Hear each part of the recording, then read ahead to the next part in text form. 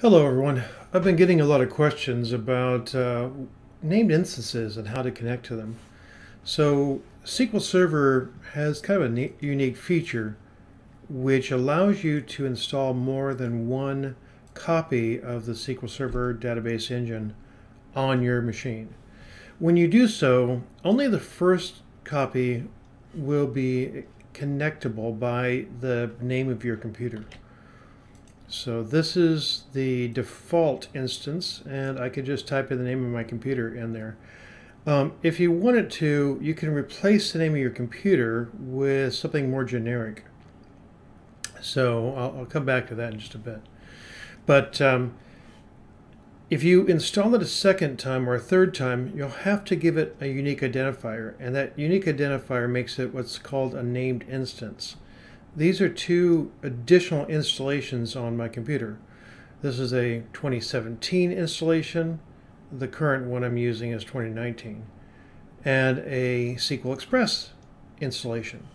And these are completely separate from each other. So if I want to connect to one, it doesn't allow, it doesn't connect me to all of them.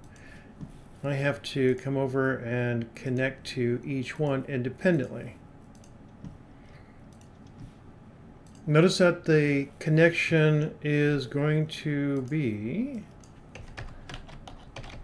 with a backward slash, not a forward slash like on the internet. It's This is a network thing, so it uses a backslash instead of a forward slash. Did I spell express wrong? Probably.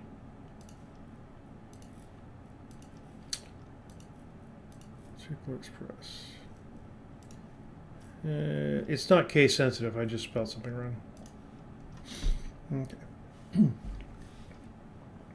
now, under databases, I can see that there's a system database folder and some other another database snapshot folder. I'm to make a brand new database. I'll call it um, demo 2017. This is just a database and I'm calling it demo 2017 so you can see it show up under my 2017 instance. That doesn't mean it's going to show up under my default instance because they're completely separate pieces of software. It's not in there. I can refresh this all day long. It's not going to show up in there. It's not in the other installation either because each installation is completely unique to itself. So that that is different. You can install the, software multiple times, and each one is a standalone piece of software. I think that's why people get confused. As I mentioned, um, you don't have to put in the name of your computer. You could actually go ahead and use the word localhost, and that's a stand-in for your computer. If I use localhost, keep in mind that it, I can also use localhost with the ins, uh, named instance name. I can also use localhost or a single period. I do that sometimes because, well, it's easy to type and I can't misspell it. Or, and this one's kind of weird, local with parentheses. I'm not sure why they thought we needed parentheses for that one, but okay. Let's take a look at what we have here. Let me get back there.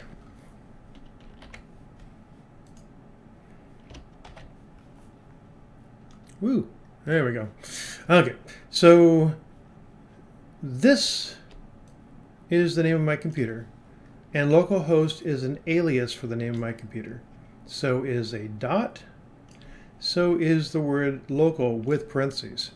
These are all the same thing, but if I put a slash there, it means that it's, it's part of the named instance. So these two, local R, uh, laptop 1 and um, the named instance of SQL 2017 and localhost SQL 2017, those are the same thing. Uh, so is the one with a dot. So is the one where local. those four are the same thing. And as such, if I open them up, you can expect that demo 2017 database to be in there because it's the same thing. It's just using a different name to make the connection. This is what is called an alias. People can have an alias. It doesn't mean that their original name has changed. It's just another way to call them by. And that's what we're using here. These are localhost, dot, and local in parentheses are aliases. So hopefully that will clear up things about what a named instance is, and uh, I thank you for watching.